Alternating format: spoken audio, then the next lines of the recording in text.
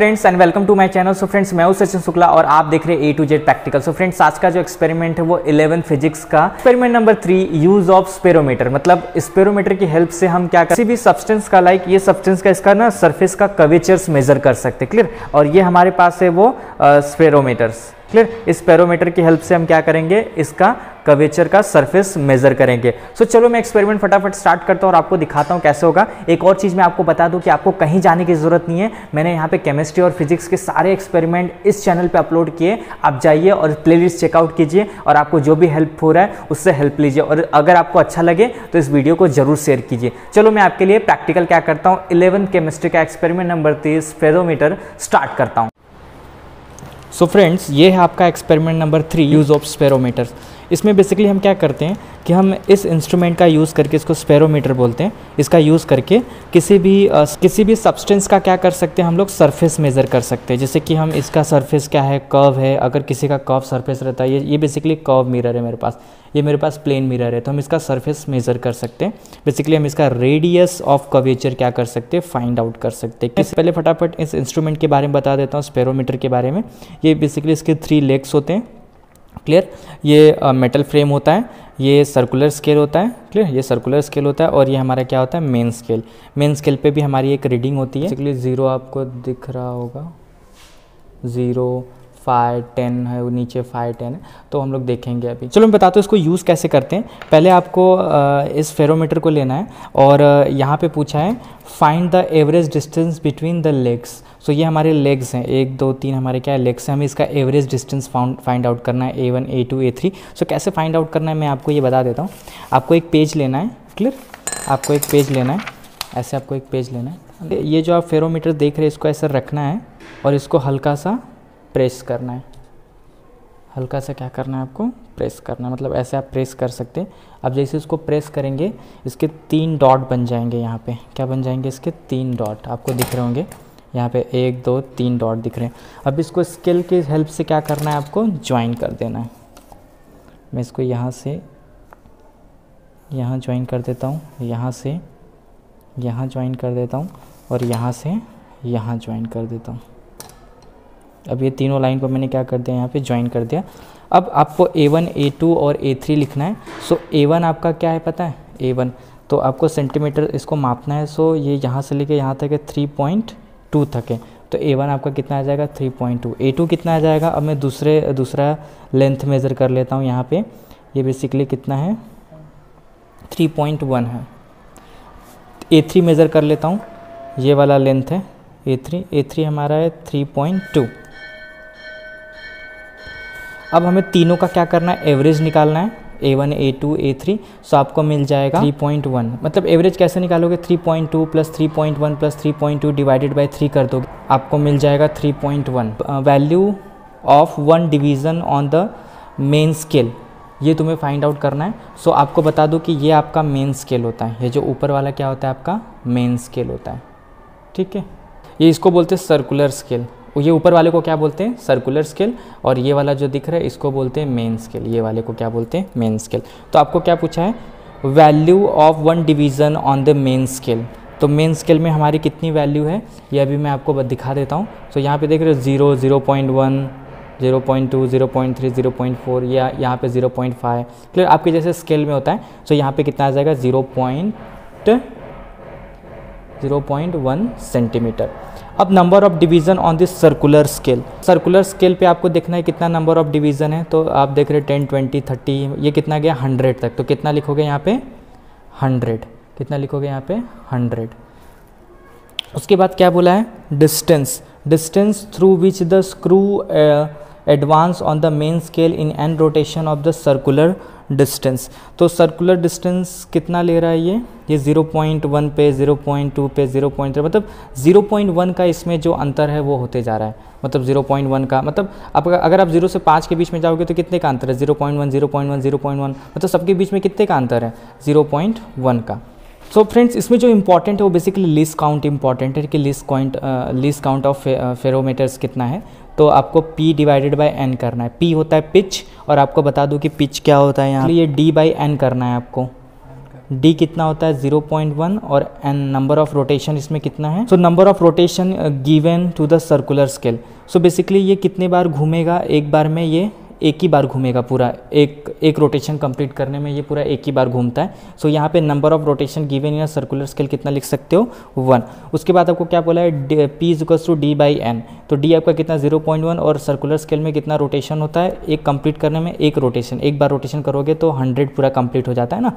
तो इसको किससे? ज़ीरो पॉइंट वन को वन से डिवाइड करोगे तो आपको मिल जाएगा ज़ीरो पॉइंट वन सेंटीमीटर ही मिल जाएगा। लिस्ट काउंट ये सबसे ज़्यादा इंपॉर्टेंट इसका आप ध्यान रखिए। कैसे फाइंड आउट करोगे बताता हूँ लिस्ट काउंट लिस्ट काउंट में आपको क्या करना है? आपका जो पिच है पिच ऑफ़ द स्क्रू कितना आया बताओ? 0.1 आया है। तो आपको 0. एन को ज़ीरो पॉइंट वन को आपको क्या करना है? एन नंबर से डिवाइड करना है। एन आपका कितना है? हंड्रेड अब इसको हंड्रेड से डिवाइड करोगे तो आपको मिल जाएगा zero point zero zero one centimetre ठीक है? तो आपको याद रखना है कि लिस्ट काउंट आपका स्पेरोमीटर का कितना है? Zero point zero zero one centimetre ठीक है? ये क्यों इंपॉर्टेंट है? क्योंकि लिस्ट काउंट ही इसमें सबसे ज़्यादा इंपॉर्टेंट होता है। अब चलें, चलते हैं प्लेन मिरर की तरफ़।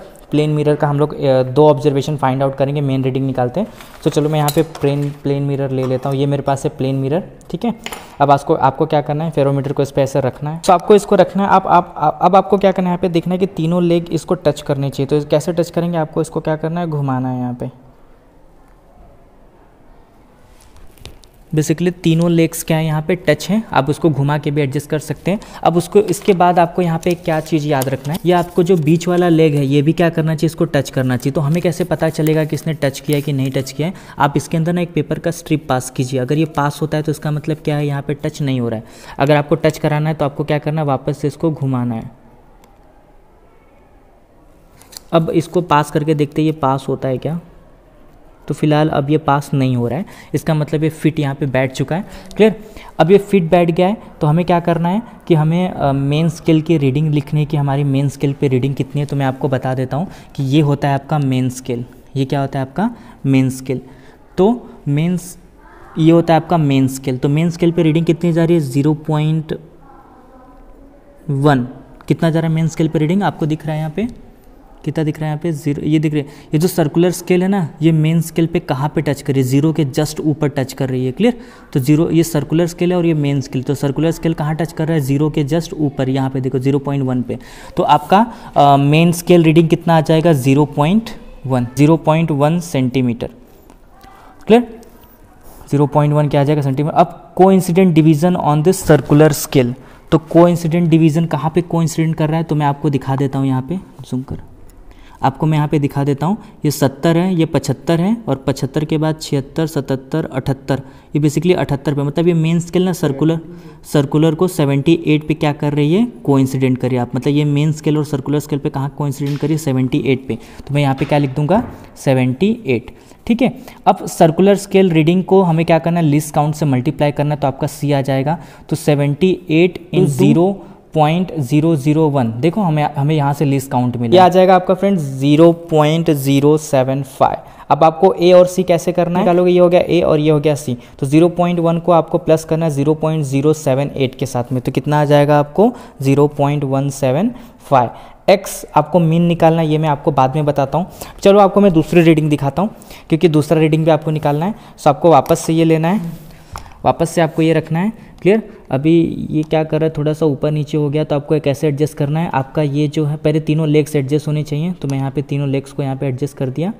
अब मुझे क्या करना है यहाँ पे, कि मुझे देखना है कि ये अच्छे से एडजस्ट है कि नहीं बीच वाला तो इसको मुझे घुमाना है। ठीक है? अब इसको स्ट्रिप पास करना है यहाँ पे। अगर ये स्ट्रिप पास हो जाता है तो फ़िलहाल ये पास नहीं हो रहा है। इसका मतलब ये फिट बैठ चुका है। तो अब इसकी रीडिंग देखते कितना है? तो मेन स्केल पे हम लोग देखेंगे यहाँ पे कितना आ रहा है। मेन स्केल पे सेम आ रहा है zero point one zero point one आ रहा है मेन स्केल पे और सर्कुलर स्केल पे कितना आ रहा है? सर्कुलर स्केल पे मैं आपको दिखा देता हूँ, ये अस्सी, इक्यासी eighty one eighty two eighty three eighty four मेरा मेन स्केल रीडिंग कितना था? ज़ीरो पॉइंट वन सेंटीमीटर इस पर एटी सेवन आया था। अब आपको 87 सेवन इंटू लीस काउंट करना है। सो लीस काउंट करोगे तो 87 सेवन इंटू लीस काउंट हमारे कितना? Zero point zero zero one.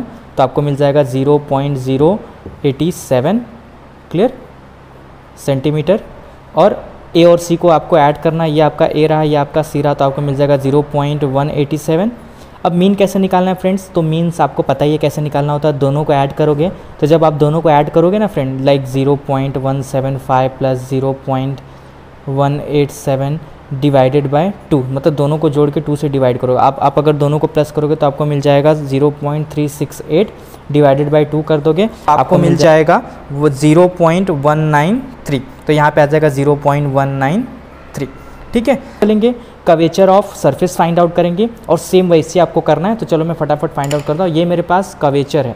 ये थोड़ा सा ना, इसमें आप देखेंगे तो ये थोड़ा सा इसका सरफेस एरिया थोड़ा सा नीचे है मतलब एक कॉफ टाइप का मिरर है मेरे पास, अब हम इसका फाइंड आउट करेंगे, ठीक है? मैं इस फेरोमीटर को रखूँगा, ठीक है? ये तीनों लेग्स बेसिकली इसको अच्छे से टच कर रहे हैं यहाँ पे, अब बीच वाले को मुझे टच कराना है तो मैं क्या करूँगा, ऊपर वाले को हल्का हल्का घुमाऊँगा तो ये नीचे जाएगा, ठीक है? तो अब शायद ये बीच वाला जो है वो टच कर चुका है, अगर नहीं नहीं समझ में आ रहा तो आप स्ट्रिप पास करके देख लीजिए यहाँ पे, मैं स्ट्रिप पास करता हूँ यहाँ पे। ठीक है, ये स्ट्रिप मैंने पास किया और ये पास नहीं हो रहा है। इसका मतलब क्या है कि ये सही से पोजीशन है यहाँ पे। आप एक और काम करिएगा कभी कभी इसके आजू बाजू भी यहाँ पे भी पास करके देख लीजिएगा कि पास होता है कि नहीं। ठीक है? तो ज़्यादातर आप इसको पास करके देख लीजिएगा कि पास होता है कि नहीं कि नहीं तो अगर अदरवाइज़ वो एरर हो जाएगा। जैसे देखिए, ये मेरा तीनों में से कहीं भी पास नहीं हो रहा है। ठीक है? ये कहीं भी पास नहीं हो रहा। फ़िलहाल ये परफेक्ट है। अब अब हम क्या करेंगे कि अब इसका रीडिंग देखेंगे। ये होता है, ये होता है हमारा सर्कुलर स्केल और ये होता है मेन स्केल ठीक है? तो मेन स्केल में देखेंगे रीडिंग कहाँ गई है? तो बेसिकली ये गया है जी ज़ीरो पॉइंट वन पर है। यहाँ जी ज़ीरो पॉइंट वन पर है। क्योंकि ये जो सर्कुलर स्केल है, वो मेन स्केल को ज़ीरो पॉइंट वन पर कोइंसिडेंट कर रहा है। सर्कुलर स्केल की रीडिंग कितनी है? सर्कुलर स्केल की तो वो है हमारा, वो है हमारा forty forty one forty forty one, forty two. कितना है यहाँ पे? Forty two. ठीक है? ये रहा सर्कुलर स्केल और यहाँ पे कितनी रीडिंग आ रही है? फोर्टी फोर्टी वन और फोर्टी टू। कैसे मुझे चल रहा है फोर्टी, कैसे मुझे पता चल रहा है फोर्टी टू? क्योंकि ये जो मेन स्केल है, ये सर्कुलर स्केल को जहाँ पे टच कर रहा है ना, जिस पॉइंट पे, वही आपको रीडिंग नोट डाउन करने तो ये मेरा फोर्टी टू आ रहा है। तो ये है मेन स्केल अब आप, आपको मैंने बताया कि जो ये फोर्टी टू है ना सर्कुलर स्केल है ये 42 आप देख रहे हैं 41, 42 ये 42 क्या कर रहा है इस मेन स्केल को ना टच कर रहा है इंसिडेंट डिवीज़न कितना था? 42 था। सर्कुलेटिंग स्केल की रीडिंग कितनी थी? आपको जो आपका कोइंसिडेंट आता है 42 आपको लिस्ट काउंट से मल्टीप्लाई करना पड़ता है तो 42 two into zero point zero zero one करोगे तो आपको मिल जाएगा zero point zero forty two centimetre अब आपको क्या करना है? ए और सी को प्लस करना है। ये ए है और ये सी है। तो 0.1 plus zero point zero one four two करोगे, ये दोनों को प्लस करोगे तो आपको मिल जाएगा 0.142 अब आपको वैसे आपको दूसरी रीडिंग निकालनी है। वापस से कवेचर्स रखना है यहाँ पे, जो सरफेस एरिया है, इसके ऊपर वापस फेरोमीटर्स रखना है, ठीक है? अब आपको चेक करना है कि आपके जो तीनों लेग्स हैं, ये इस सरफेस को क्या होने चाहिए? टच होने चाहिए। मुझे कैसे पता चलेगा? आप इसमें एक स्ट्रिप पास कीजिए। ये पास किया मैंने। नहीं पास हुआ, ये भी पास नहीं हुआ, ये भी पास नहीं हुआ। अब बीच वाले में पास करते पास होता है क्या? तो चलो मैं बीच वाले में पास करके देखता हूँ यहाँ पे। तो ये स्ट्रिप पास किया तो ये देखो, ये बीच वाले में भी पास नहीं हो रहा है। इसका मतलब ये सही है। अगर नहीं सही रहता तो आपको क्या करना पड़ता? आपको ऊपर से हल्का या फिर घुमाना पड़ता सर्कुलर वे में। चाहे इधर घुमाओ, चाहे उधर घुमाओ। इधर घुमाओगे तो नीचे जाएगा, उधर घुमाओगे तो ऊपर जाएगा। ठीक है? सो अब ये है आपका मेन स्केल तो आपका मेन स्केल कितना आ रहा है? आपका मेन स्केल दिख रहा होगा यहाँ पे सेम आपका मेन स्केल देखो वापस से 0.1 आ रहा है और ये 0.1 पॉइंट कहाँ टच कर रहा है? इस सर्कुलर स्केल में देखिए। फ्रेंड्स आपका ये अब आप देखते हैं कि सर्कुलर स्केल पे कहाँ पे रीडिंग है। तो सर्कुलर स्केल जो आपका है, ये जो आपका सर्कुलर स्केल है, ये 30 है, ये 35 है और यहाँ पे क्या है? 36 मतलब ये जो ये वाला है जो मेन स्केल है, ये 36 पे क्या कर रहा है? इसको कोइंसिडेंट कर रहा है, ठीक है? ये क्या कर रहा है? इसको 30 देखिए 35 है और ये क्या है? 36 पे क्या कर रहा है? इसको कोइंसिडेंट कर रहा है। तो ये आपका कोइंसिडेंट रीडिंग सर्कुलर स्केल पे कितनी आ जाएगी? 36 और मेन स्केल पे आपका जो रीडिंग हो जाएगा 0.2 क्योंकि आप देख रहे हैं ज़ीरो के जस्ट ऊपर है तो कितना हो जाएगा ये 0.2 मेरा कितना आया था? 0.1 सेंटीमीटर यहाँ पे कितना आया था? 36 इसको लीस्ट काउंट से मल्टीप्लाई करोगे तो 0.036 सेंटीमीटर आ जाएगा।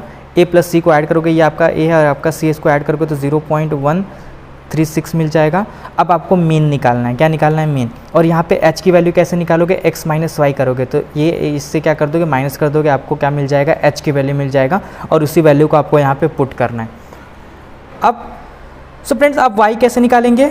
ये दोनों को क्या करेंगे? प्लस करेंगे। तो zero point one four two plus zero point one three six और इसको करेंगे हम लोग डिवाइडेड बाई टू तो जब आप इसको डिवाइडेड बाय इसको मैं रफ कर देता हूँ मैं यहीं पे कर देता हूँ। Zero point one four two plus zero point one three six divided by one three six divided by two तो आपको मिल जाएगा कितना? Zero point two seven eight इसको सो so, इसको डिवाइडेड बाय टू करेंगे तो आपको मिल जाएगा zero point one three nine अब आपको क्या करना है? एक्स माइनस वाई तो यहाँ पे मिल गया zero point one three nine अब आपको क्या करना है? X माइनस वाई मतलब x में से y को आपको घटाना है मतलब आपको क्या करना है? Zero point one nine three minus zero point one three nine तो आप अगर इसको माइनस करोगे तो आपको मिल जाएगा zero point zero five four अब आपको वैल्यू यहाँ पे रख देना आर के R is equals to a square a आपको यहाँ से मिल जाएगा थ्री पॉइंट वन का square divided by six into H की वैल्यू कहाँ से मिलेगी आपको? Zero point zero five four plus zero point zero five four H है डिवाइडेड बाई टू करना है आपको।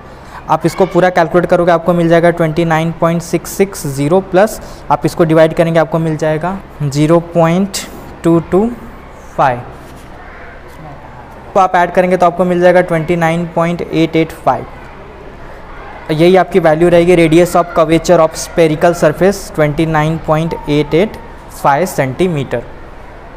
centimetre आप लोगों ने देखा एक्सपेरिमेंट नंबर थ्री मैंने स्पेरोमीटर बहुत ही अच्छे से यहाँ पे एक्सप्लेन किया है। सारी रीडिंग आपको बताइए। आप चाहिए तो वो रीडिंग लिखिए और आप अपने से भी कैलकुलेट कर सकते हैं क्योंकि मैंने प्रैक्टिकल बहुत ही अच्छे से एक्सप्लेन किया है। So thank you for watching this video and please subscribe A to Z practicals और फ्रेंड्स मेरा एक और चैनल है केमिस्ट्री तड़का आप उसे भी सब्सक्राइब कीजिए ताकि मुझे मोटिवेशन मिल सके आपके लिए बहुत सारे वीडियोज़ बनाने के लिए। सो थैंक यू